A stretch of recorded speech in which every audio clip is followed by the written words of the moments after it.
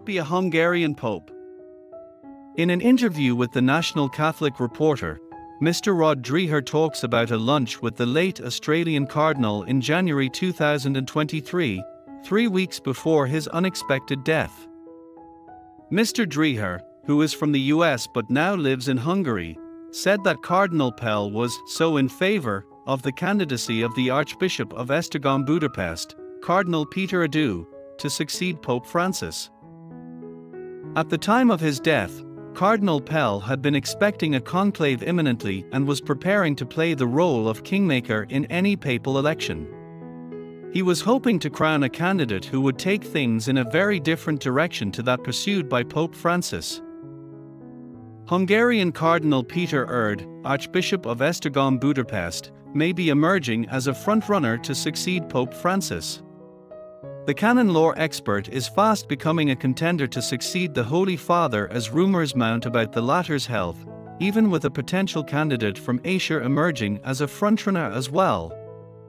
Filipino Cardinal Tagle would certainly align with the more liberal position taken by the current Pope. His appointment would also point to the changing demographics of the Church.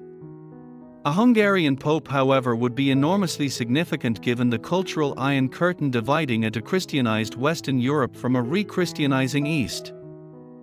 As John Gizzi, chief political correspondent for Newsmax, recently pointed out, talk of Erdő as a future pope is nothing new. Indeed, Cardinal Erdő was being talked about as early as 2013. But, as Gizzi wrote, one Vatican insider told Newsmax the current pope is not going to be around for long, adding that, at the most, he will be there until December.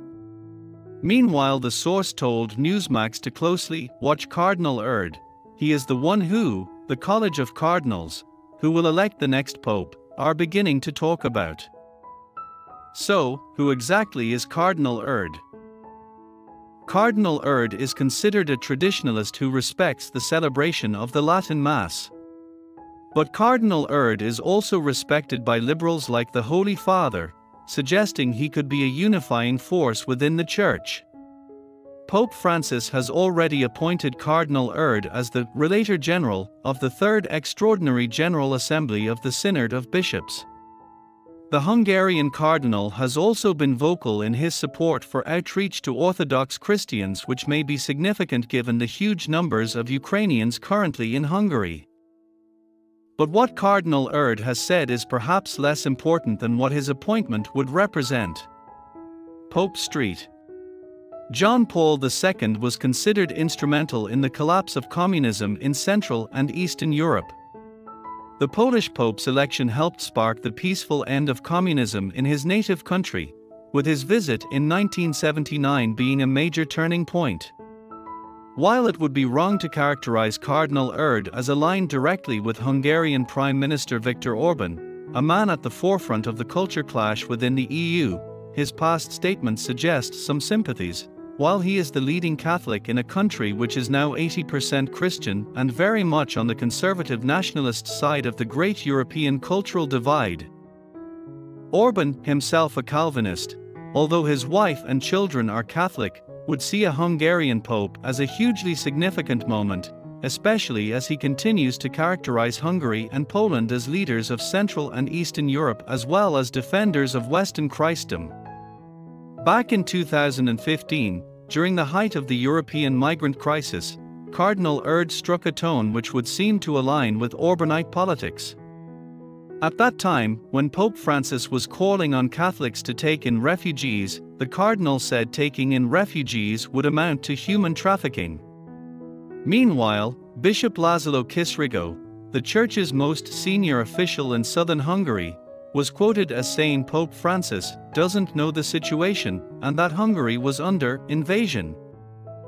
In conservative Hungary, Catholics officials are known to ally strongly with Orban, who has warned repeatedly about the presence of Muslims in Europe, arguing that Europe and European identity is rooted in Christianity. This, in a country where church bells toll every day at noon to commemorate a 15th century battle in which Hungary expelled Muslim Turks. Despite Cardinal Erdő's position in 2015, however, The following year, he expressed concern about tendencies to turn religions against one another. Then, in an interview with Válasz Online in 2019, when asked directly about Islam and immigration, Cardinal Erdő asked rhetorically Can a country, a continent, be called Christian, seemingly a direct challenge to Orbanite thinking? The Cardinal added, I wouldn't emphasize whiteness as a Catholic, though.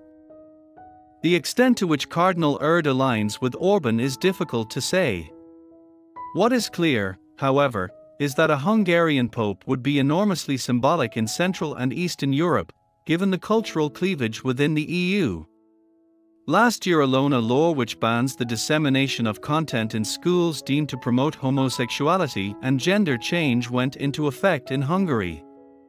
In conservative and Catholic Poland, there are also zones apparently free of LGBT ideology.